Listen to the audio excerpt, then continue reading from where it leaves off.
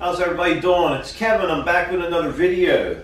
Uh, probably a week ago I tore apart a bunch of pallets. I need to make another coat rack, but this coat rack I want to keep for myself. All the other coat racks I either gave them away or sold them. So I'm going to be making one for myself today. I figure I'd bring you guys along for the ride. So let's get to it. Well, I'm on my last piece of pallet wood here. Um, you know, these boards, some of them don't look that great, but we're not worried about that because we'll, we'll buff them up with a little bit of sandpaper when we're done, and I think they'll look really good. Uh, we're not worried about the nail holes or anything like that. Even as far as that stains go on the wood. That's why we're using old wood. We want it to look older. But I think we can do a nice job and make it look nice. Now, the nails I'm pulling out, I'm putting them on a magnet tray over here. These nails, actually, there's almost none of these nails that are bent. You could reuse these if you wanted. The only thing with these nails, and I'll ask you a question, I'll see if you know. Uh, why is the end of this nail blunt? It's not sharp. And uh, I'll tell you exactly why. They blunt the end of a nail. You can see that's flat on the end of there. And the reason why they do that is so it doesn't split the wood. So if you have a piece of wood and you want to put a nail in it and you don't want it to split, stick that nail on something hard like a piece of steel and tap down on the end of it and it mm, it shouldn't split your wood. It's supposed to push the wood through instead of split the wood through. So that's why the nail is actually blunt on the end. You could reuse these if you wanted. I'll probably just put them in the recycling pile and um, they'll get recycled. Uh, it'll go for iron. So, you know, nothing goes to waste when I do these projects. Anything I have, the scraps off the wood will be put in the wood burner to keep my garage warm. The wood will be made into something that somebody can enjoy. The nails may, I may even reuse some of them, but then again, if I don't, I'll recycle them. I'll put them in the iron pile and they'll uh, get recycled. So we try not to waste anything that we can. Try to keep everything you can. people think just because you got your wood free, hey, uh, if you're going to sell me one of them, you didn't have to pay for the wood, so uh, can't you give me a better deal? Well, honestly, I would have a lot less time and labor in this than what this wood is cost. I could actually go to Lowe's and buy all this wood for less money in my time. If I counted my time, taking all these nails out and tearing the pallets apart, hey, I got more time than what these wood this wood's even worth. But I want to recycle it. I want to put it back to good use. So that's why I do it. So don't let somebody say, well, you know, you're not, you know, you don't charge me as much because uh, you got the wood free. That's not the way it goes. In this type of work here, you got to charge them whatever you feel your time is worth. So you do it however you want, but that's how I would do it.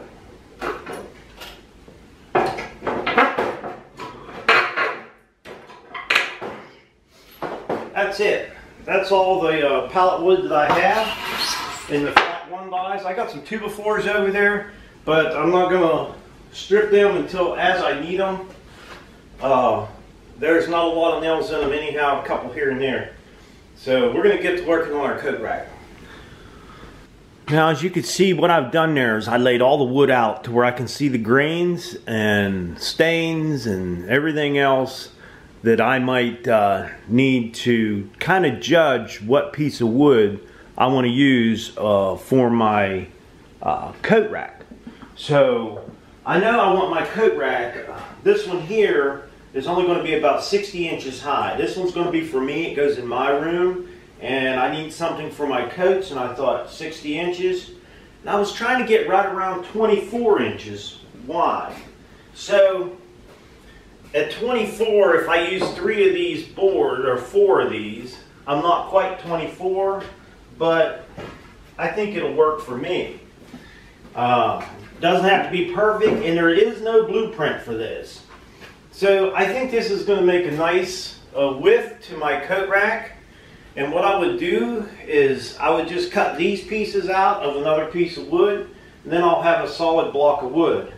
Uh, but on the back of these, I'm just going to use the same wood, and I'll put one across the back all the way around, and that will um, give me uh, something to hold them all together, like, you know, just a, a support across each one of these. So that's what we're going to do. We're going to go ahead and pick out the wood and get these cut and we'll flip them over or however we're going to get them squared up here and then and get those supports put on there.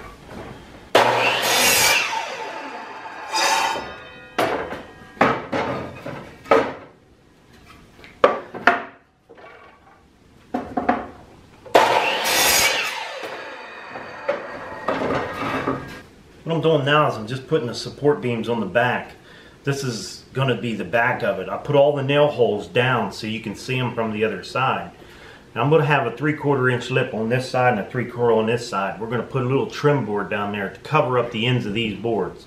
So, and I already put a square mark on here so I know where this board's going to go. All I have to do is line it up with the, the pencil marks that I already have done.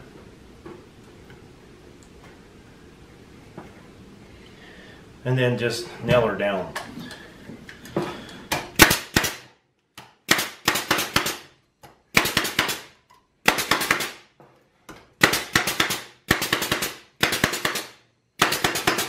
Now that piece is on and it's good to stay.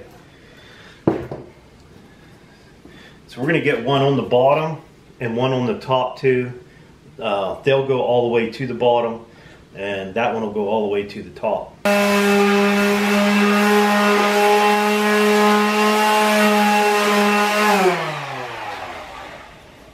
Now that's pretty much the back. And the back don't look too bad. I want you to take a look at this. I'm going to show you a little close up. Now this is that old wood that was basically going to go to the scrap yard. I'm going to take this camera off so you get a little better view of it. Now look at this wood. That is beautiful. To me it is. It may look old, nasty, but to me it's beautiful wood. And I do believe that it's all pine, so and you know, when it's done, it's going to look nice, you know, and it's just old wood. So another piece of garbage turned into a nice piece of furniture, hopefully. I think now I'm going to start working on, uh, I need a lip around the outside edge, edge of this. I'm going to work on the lip that's going to go around the outside edge, then a top piece, a little plate that'll go on the top, and then a shelf here. And I want a small shelf on the top of here. So we're gonna, I'm going to go ahead and work on getting these boards stripped for, it's only a three quarter inch little lip that'll go around the outside to hide the edges of the other boards and then the small piece for the top and the shelf. Now the shelf, I found this piece of wood and it's a little bit different than the rest of the wood. It's got some knots and cracks. I think I'm going to use this for my shelf. I think it'll work really nice. I like this wood. Uh, it's a little different, but that's okay. That's what I want. So we're going to work on the shelf, the top, and the two sides. What we're doing here is we're just trying to hide the boards that were in the back. So we're just putting a small trim board in here down along this edge. It's going to keep that from showing through. Those boards we put in the back going this way. So then we're going to get working on the top up there. I got the top piece cut and I got the little shelf that I want to put on there. So, but I got to make a couple brackets for under the shelf here.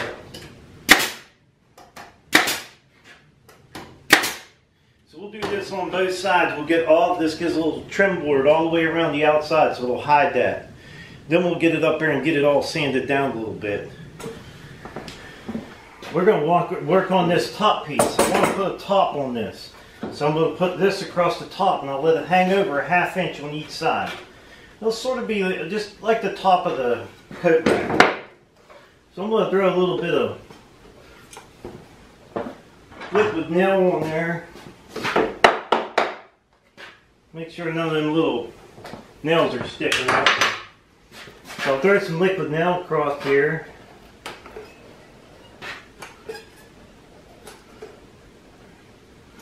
And then we'll go ahead and nail our piece on. We're just going to split the difference. We ain't got to worry about being perfect.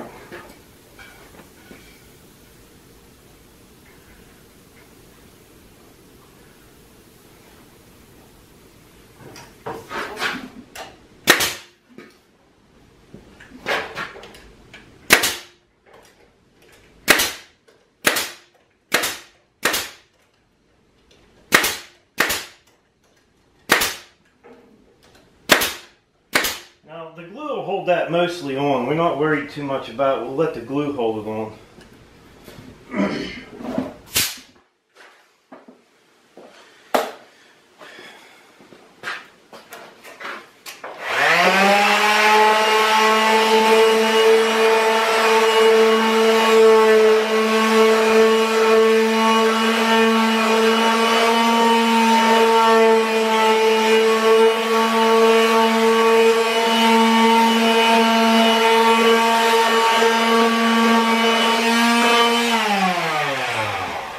That's going to make a nice top. Now we're going to start working on the shelf. I'm to have to cut a couple boards underneath this thing to make a uh, couple brackets to hold it up on there. That way it'll stay in place. So I'll go ahead and get working on a couple brackets. I'll show you when I get them done.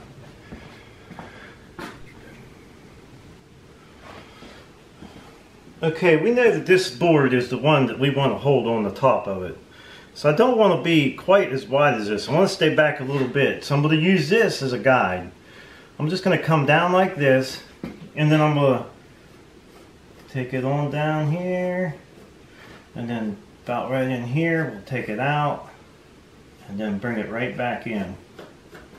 Now what I'll do is I'll go ahead and cut this out and then I'll trace it on this piece of board again and then we'll cut one more identical to that one. hey, what we're going to do now is we're just going to throw a couple, um, we're going to countersink some screws down into this thing. We're going to do two on this side, two on that side. Actually, my camera shut off. I went ahead and got them drilled. We're going to pull them back apart. I got them in two nice 90 degree angles. It's going to hold them nice and straight. They're about two and a half inches from each side. So I'll go ahead and pull these back off and put some glue in there and put my screws in. Okay, we got our screws put in there. We countersunk them down in there a little bit. And uh, we did glue them. I got a little glue coming out the edge there, but I'll be able to wipe that off. The shelf actually turned out really nice. And we're just basically going to put the shelf up here on the top. So we'll have, you know, a little extra storage in there, something to put up. We could put some knickknacks or something up there. Now, as you can see, the board's actually warped up, but we'll clamp that down we'll get it screwed in there. But uh, I think this is really going to turn out nice. We're putting our coat rack We'll put our coat hooks up underneath here. Uh, so I think it's going to turn out really nice. In some of the other videos that I made where I made coat racks, I made a little seat down there. I don't want a seat. I'm going to screw this thing right to the wall. That's how I'm going to hang it up. I'm going to screw it right into the wall. So what I'm going to work on next is my coat hooks. And I'll tell you what I come up with. I'm going to take some railroad spikes, some old railroad spikes, you can see right here. I'm going to chop them off in the length that I need them. And then I'm going to thread the insides of them. I'll use a tap and die and thread them. And then uh, we'll use these as our coat hooks. And I think they'll be really nice. So we're going to go ahead and get working on the coat hooks. Okay, after we got them cut off, I used a wire brush to clean them up a little bit. And I just took a punch and tried to get as close as I could to the center. Uh, and then drill the hole. I'll drill a hole down through here and then we'll run some threads down in it.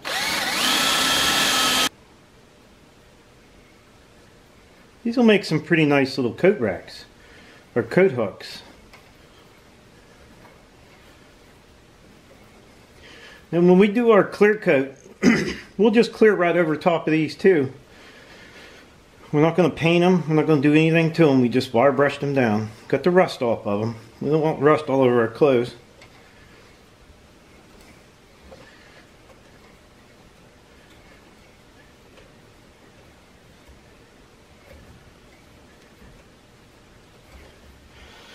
Okay, we should have us a nice set of threads in there. They're not perfect because we didn't use a drill press. If we'd use a drill press, we'd get a little tighter thread. Uh, so that's okay.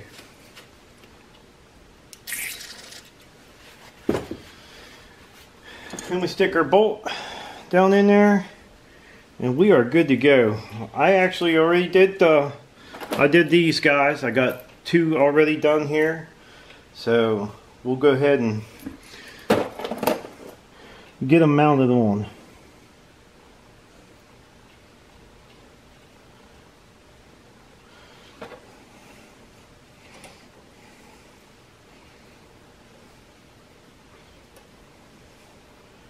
There you go.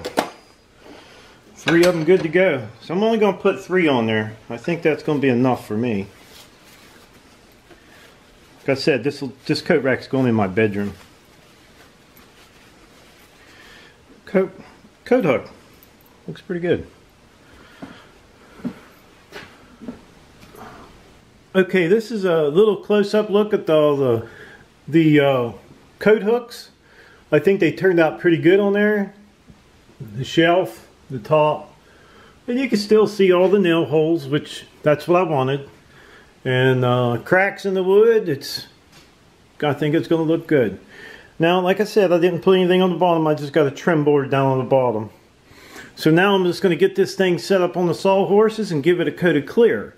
Now what I'll do is up here, I'll countersink where I'm going to put a screw here and a screw here to hold it to the wall. Or then again, I might just put one up in here and one up in here. I think that'd be better. That way you can't see them. So we're going to have this thing just about done.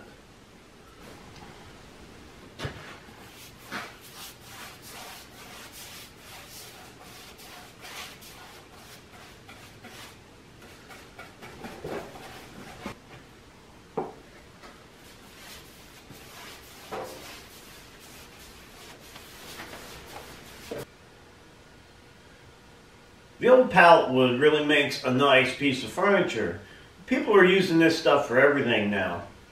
It's not like it's really free free. I mean, you do got to go pick it up, you got to tear the pallets apart, and then you got to take all the nails out of it. But yet, it's still worth the trouble you go through. I know when I was doing the coat rack, I said I was to put three coat rack coat hooks on here. Well, the third coat, if I put only three, it would end up in the center of this crack, and I didn't want it in the center of the crack. So I went ahead and put four on there, which is not going to hurt anything. There is no blueprint, so I can do it however I want. So I wanted to tell everybody, thanks for watching the video. Don't forget to subscribe, leave me thumbs up, thumbs down, or comment if you'd like. Until next time.